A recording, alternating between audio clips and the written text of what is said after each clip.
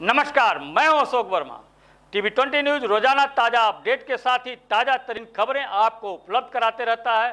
बने रहिए हमारे साथ। देखते रहिए टीवी ट्वेंटी न्यूज़। महाराजगंज जनपद से खबर है, जहाँ नेपाल के पहाड़ों में हो रही मूसलाधार बारिश से महाराजगंज जनपद में एक बार फिर बाढ़ जैसे हालात बन गए। जहाँ नेपाल से निकलने वाला महाव नाला का तटबंध टूटने से सैकड़ों एकड़ फ़सल जलमग्न हो गई है।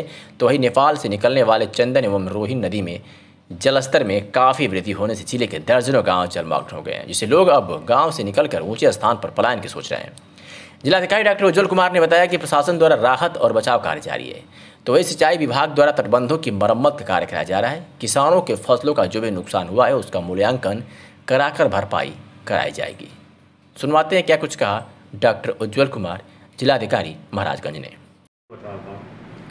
चंदन नदी, महावनाला और इसके अलावा रोहिन में हमारे पानी, चूँकि बारिश काफ़ी ज़्यादा हुई थी पिछले दो दिनों में तो उसके चलते जल स्तर में वृद्धि हुई है। कई जगहों पे कृषक क्षेत्रों में फ्लडिंग की सिचुएशन भी आई है और कहीं कहीं आबादी में भी ये पानी गया है। और शासन के द्वारा इस पर भरपूर प्रयास किया जा रहा है। शासन प्रशासन ने सभी को निर्देश दिए हैं। एसडीएम हमारे जा रहे हैं प्रभावित इलाकों में। सिंचाई विभाग के इंजीनियर्स को भी भेजा जा रहा है।